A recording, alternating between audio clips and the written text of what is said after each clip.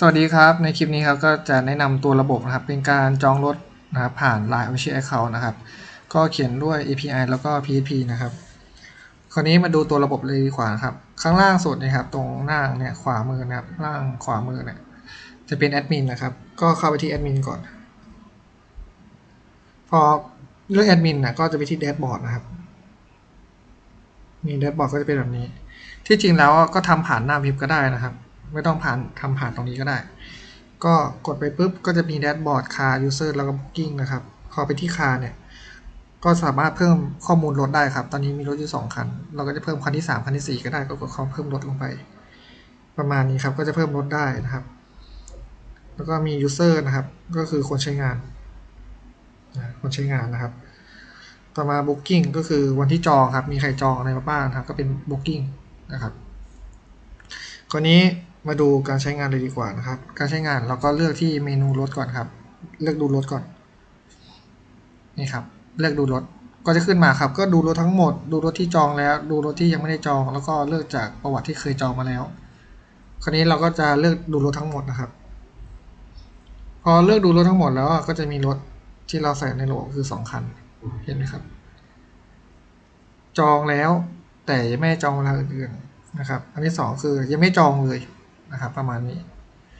สมมติว่าเราจะจองคันที่สองแล้วกันนะครับอ่าเราจองรถคันที่สองนะครับ กดจองเข้าไปพอกดจองรถปุ๊บมันก็จะขึ้นมาครับ เลือกเวลาจองครับสมมติว่าเลือกวันนี้นะสมมติว่าเราจะจองวันที่สิบห้าแล้วกัน จองวันที่สิบห้าเวลาบ่ายสาม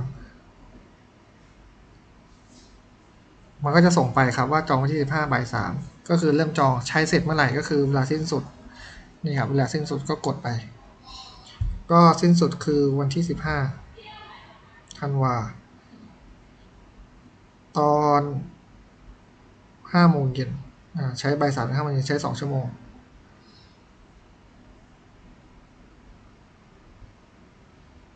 นี่มันบอกว่าคุณจองไม่สำเร็จเพราะว่าคุณมีจองรถที่อยู่แล้ว ใช่เรามีรถรถที่จองอยู่แล้วนะครับ ก็คือรถคันนี้นะครับนี่คันนี้ครับเราจองอยู่แล้วคันสีขาวนะครับ เราจองไว้แล้วคราวนี้เราก็ต้องยกเลิกจองก่อนนะครับ ก็กดยกเลิกจองตรงนี้นะครับ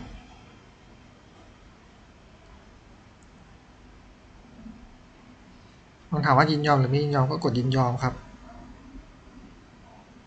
เห็นไหมก็ยกเลิกจองเรียบร้อยแล้วนะครับ คราวนี้ไปดูที่ประวัติจอง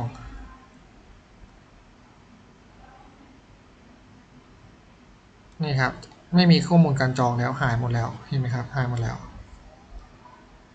โอเคคราวนี้เลือกดูรถใหม่ กดเลือกดูรถครับ ก็กดดูรถทั้งหมด เห็นไหมก็ไม่เป็นสีแดงแล้วเห็นไหมเราสามารถจองได้แล้วสมมติว่าจะจองคันนี้นะครับ ก็กดจองรถคราวนี้เลือกเวลาใหม่อีกรอบหนึ่งนะครับ วันที่สิบห้า นะครับ ตอนบ่ายสามโอเคครับ แล้วก็ เลือกเวลาสิ้นสุดใช้ถึงบ่ายสามจนถึงห้าโมงเย็น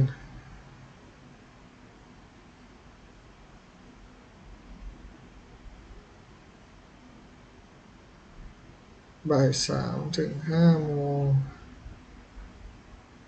นะครับ โอเค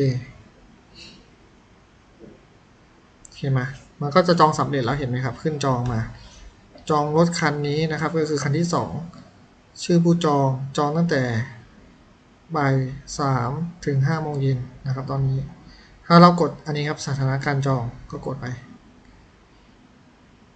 นี่เราจองคันนี้เห็นไหมครับ มันจะขึ้นสถานะการจองให้เรา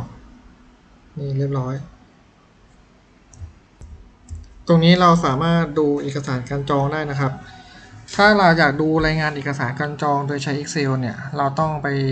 ดูบนเบราว์เซอร์นะ ดูบนเบราว์เซอร์ เพราะว่าลายเบราว์เซอร์เนี่ยมันอ่าน Excel ไม่ได้ แต่ดู PDF ได้ครับ ตัวสีแดงเนี่ยกด PDF นะครับ เสร็จแล้วก็กดรายงานการจองล่าสุดครับ ก็กด PDF นี่ครับ ก็จะขึ้นมาเป็น PDF ให้เรา ส่วน Excel ก็ได้เหมือนกันครับ แต่ต้องไปอ่านผ่านเบราว์เซอร์นะครับ อ่านผ่านเบราว์เซอร์